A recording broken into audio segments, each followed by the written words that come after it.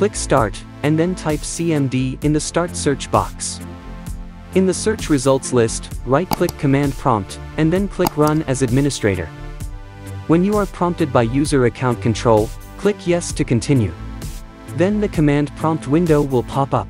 You type in this command. Net user. And then, hit enter. Then it will list all user accounts. Let's find out about the desktop account. You can type net user desktop. In the local group memberships. You can see user account only. Well you can use the net local group command to promote it. Okay let's promote desktop account to an administrator account.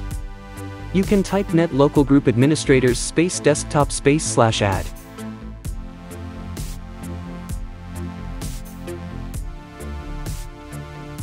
Now, the account should be administrator. If you are not so sure, you can type net user desktop. In the local group memberships, you will see an administrator account has been added. All good to go.